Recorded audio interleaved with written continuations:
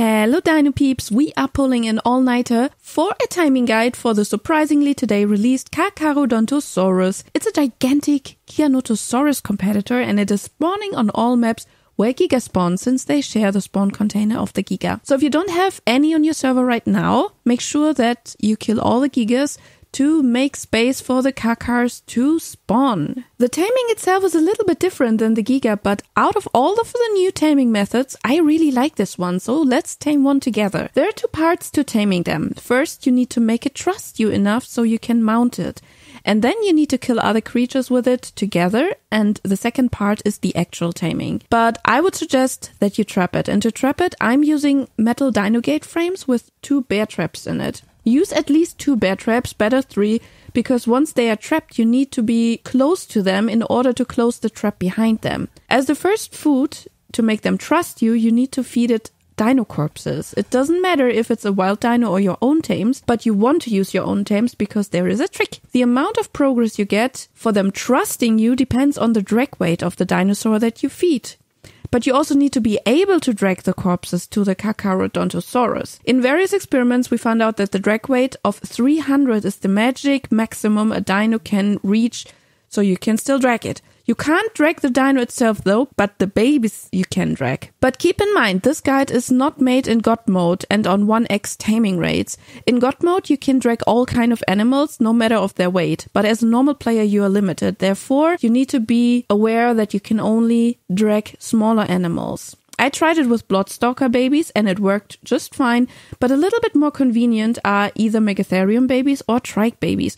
And since Trikes lay eggs, this might be the best solution for you. So just hatch a few and bring them in cryos with you. When the car is trapped, uncryo the baby and kill it. Make sure to leave a little bit of time between uncryoing and killing it because otherwise the baby will despawn. Uh, that happened to me as you can see here. While wearing good armor, drag the baby to the Carcharodontosaurus and you will see that he will sniffle in the air and then look down and eat the baby. The amount of progress is only dependent on the drag weight of the dino. The level of the dino corpse does not matter at all. You will also get the same amount of progress no matter what level the Carcharodontosaurus is. In this case, you need two babies for the full progress. Once the Carcharodontosaurus had the two babies, the progress indicator will turn green and now you need to quickly remove a gate and then mount the dino. And now you have to kill tames around you. Each tame gives you about 1% progress on official multipliers. I would suggest bring Sanguine Elixir to get a 30% bump on top of the progress. And you have 600 seconds in total to get to 100% taming. If you fail to get to 100%, then the Carchar will drop you again and you will have to trap him again and gain his trust again. You will not lose taming progress though, with a second run, so only the efficiency will go down by a little bit. It will also go down by a little bit if your tame gets hurt while killing creatures. And once it is tamed because you reached 100%, it will throw you off and you can then only ride it with a saddle. Now, the Carcharodontosaurus has a few buffs that are worth mentioning. First is the Blood Rage buff. In your hotbar left side, you see the Blood Rage stacks. You can get up to 100 stacks, and with each stack, you get 1.75% more damage and an insanely increased healing. The stacks are built up by killing enemies, and you will get one stack per 2500 damage that you did to an enemy once this enemy dies.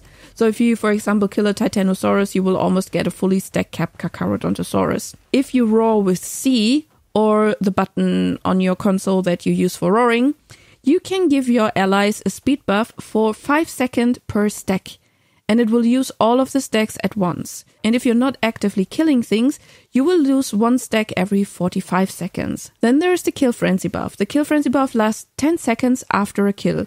You will get 60% more movement speed and in that time you also have better maneuvering abilities. The Carcharodontosaurus can turn on the spot in all directions immediately, and you're also immune to stuns. Then there's the shredded debuff, and you can see the shredded debuff on enemies when you bite them and when they survive the bite as a, like a blue cloud around them. And this debuff means that they will not be able to heal as efficient as they usually do. Then there is the incited buff, and this is the buff that is applied to allies when you roar with a Carcharodontosaurus at them.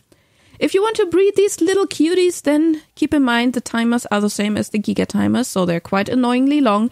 But the Carcharodontosaurus can be incubated easier because it only requires 38 degrees and it munches on raw meat after.